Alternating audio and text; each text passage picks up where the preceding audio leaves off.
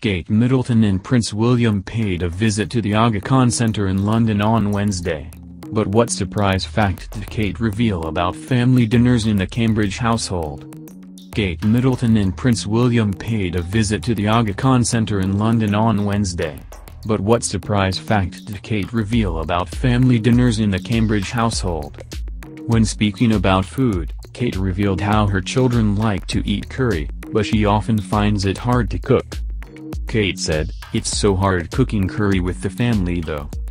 She said to William, the children have a portion with no spice, yours is medium. And I quite like it hot. She added, Charlotte is pretty good with heat. William told guests he likes his food of a medium spice, to which he was told by a member of the crowd that medium spice does not exist in Pakistan. Prince William said, me and heat, not so good. I love spice but not heat. He pulled at the waist of his suit and said, I'm looking forward to it anyway. I'm going to need a bigger suit.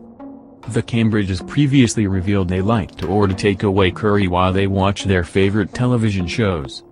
During an April 2017 interview with BBC Radio 1, Will and Kate spoke about home life in the palace. The couple were asked how they like to relax and revealed they order takeaway and watch their favorite TV shows, including Homeland and Game of Thrones. Kate said of their cozy evenings in at the palace, absolutely and curry, definitely.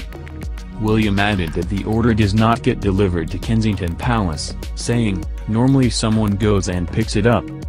Kate also previously revealed what her children enjoyed eating, telling pupils at Lavender Primary School in North London in February, Charlotte loves olives. She also explained how she often asks Charlotte, 4, and George, 6, to help her in the kitchen, where they love to make their favorite dish, cheesy pasta. Speaking after the visit, Matthew Kleiner-Mann, chief executive of the Ivy Learning Trust, said, she was telling us how much her children love cooking and how they cook for her.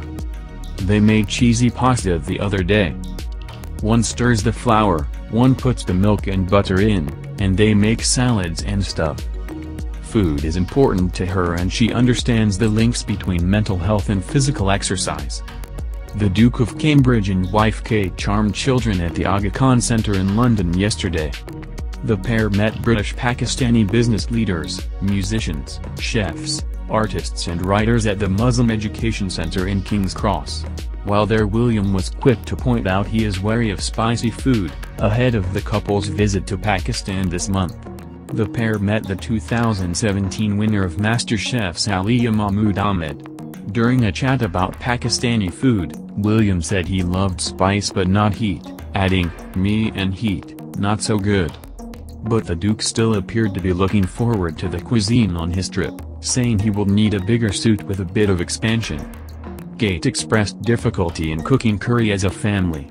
She said, the children have no spice, yours, the Duke's, is medium and I like it hot. The pair also met DJ Naughty Boy and Sarfraz Manzoor, whose memoir inspired the recent film Blinded by the Light. He joked, they were saying he likes medium spice, I don't think it exists in Pakistan.